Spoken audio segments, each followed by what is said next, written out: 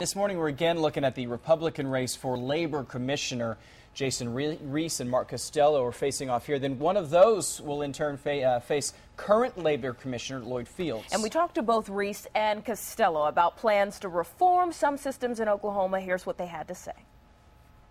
The big ones are uh, workers' comp reform. I, I, think everybody, especially on the Republican side, understands that we need to get serious about workers' comp reform and basic general regulatory reform. We need to realize that we're not living in the 1930s anymore. Not everybody works eight hours a day, five days a week in a factory. Well, waste and duplication.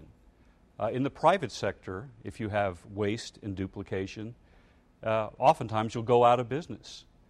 In the public sector, if you have waste and duplication, uh, you are rewarded with more tax dollars.